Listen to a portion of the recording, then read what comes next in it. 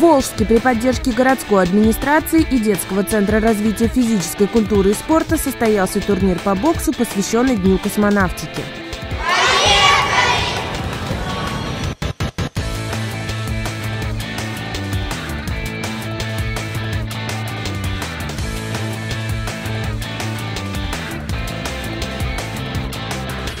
День космонавтики, в общем-то, это как никогда подходит к этому.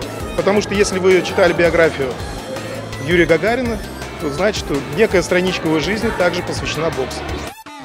В турнире приняли участие более 100 юных боксеров из Мариэл, Татарстана, Кировской области и Чувашии.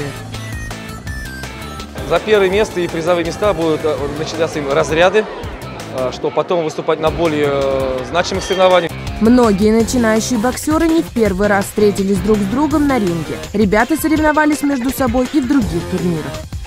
Четыре раза я выступал на соревнованиях. Я бью быстрее, чем раньше бил, и сильнее. Довольно-таки часто выезжаем, потому что детей много, детей надо э, обкатывать, они стараются, тренируются, и это для них как поощрение.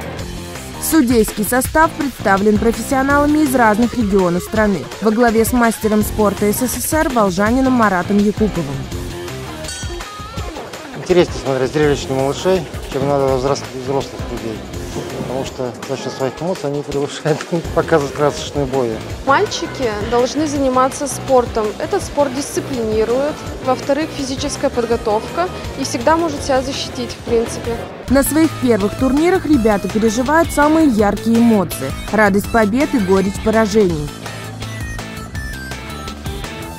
Начинающие боксеры стремятся стать олимпийскими чемпионами и мечтают быть похожими на Николая Валуева. Я сегодня одержал победу. А на кого ты хочешь? Из известных боксеров. На Николая Валуева. По итогам турнира награждены победители и призеры. Сборная Волжска и Волжского района стала лидером в общекомандном зачете соревнований. Татьяна Дугоркина, Евгений Бережной, Антон Макаревич, Волжск, 24.